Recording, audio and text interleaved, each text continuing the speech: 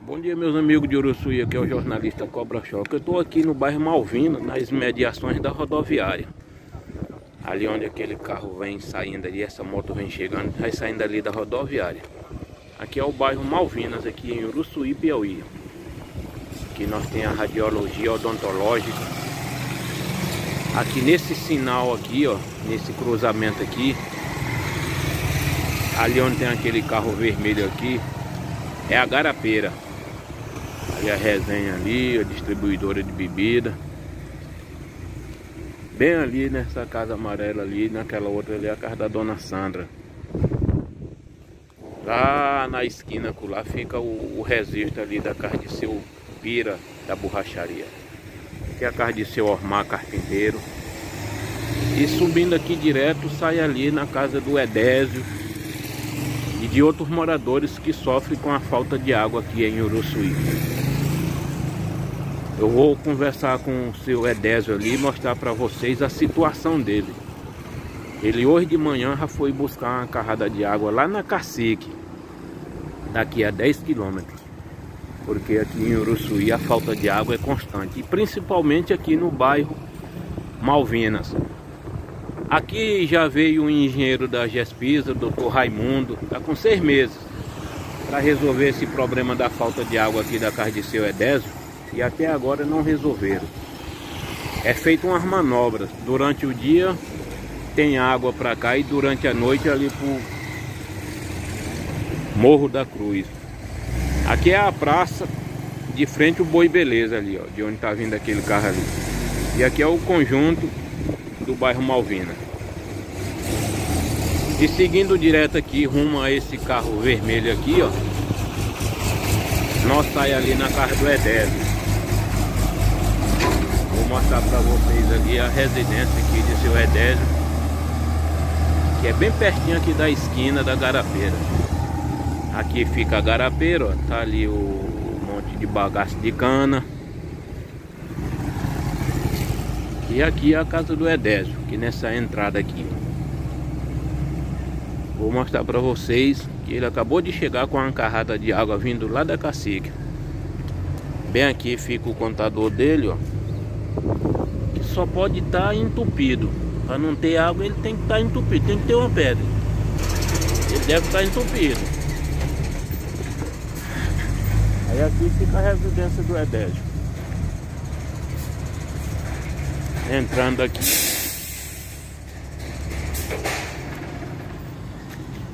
Entrando aqui, lá onde está aquela caminhonete, é a residência do Edésio. Eu vou conversar com ele agora para vocês verem como é que é a situação dele aqui em Uruçuí com a falta de água. Isso é uma vergonha.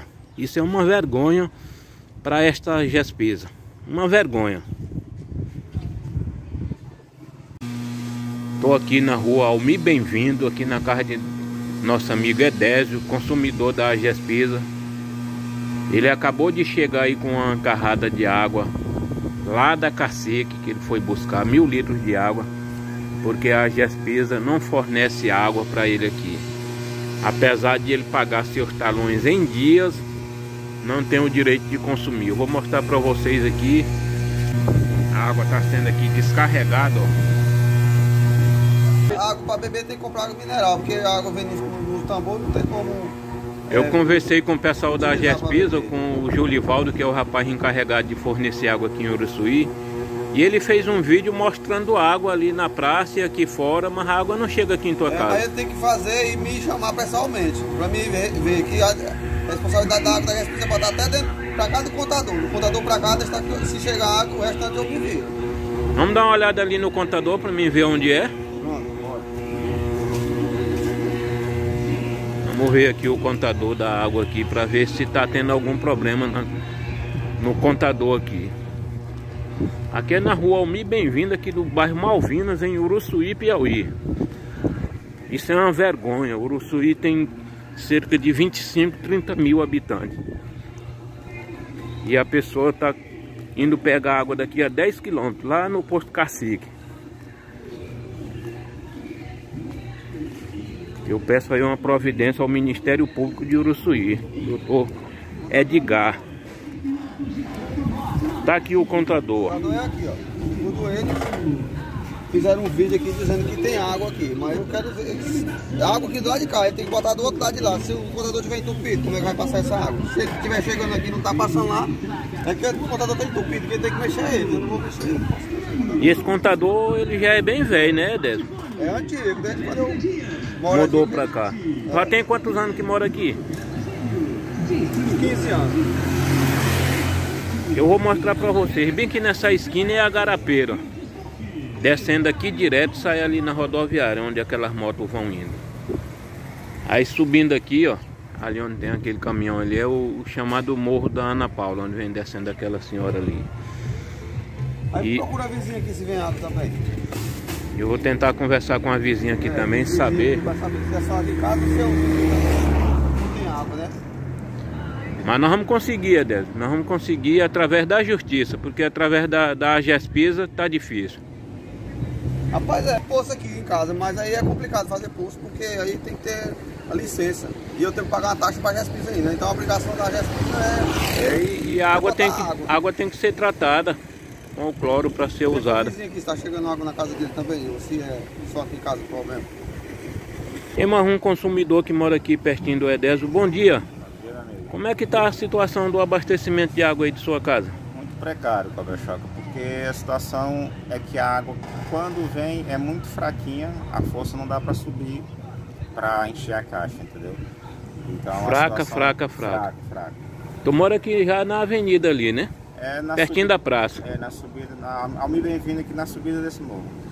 Aí conversando aqui com o Cleiton, a casa dele é essa aqui, ó. Que tem essa, Nesse essa moto nesse vermelha aqui na garapeira. E é a situação complicada, porque a gente tem que trabalhar. Rapaz, aqui um dia desse eu tive aqui com o engenheiro da Gespesa, doutor Raimundo, ficar de resolver esse problema e até agora nada. Tem seis meses já, ele veio pra cá. E até que esse período agora tá é melhorzinho, porque tá vindo a água, fraquinho mais vem. E a gente passou, foi com a rua ano passado todinho sem vir água. Não, e o verão vai chegar aí, né? Tá aí, doutor Edgar, o senhor promotor de justiça de Uruçuí, eu sei que o senhor tem até se aborrecido comigo. Acredito eu que o senhor tem se aborrecido por essas cobranças que eu faço. Mas esse é o papel do jornalista Cobra Choca, cobrar em benefício da população de Uruçuí. No caso aqui, os consumidores da Gespesa. Aqui, ó, tá o, o senhor Edésio.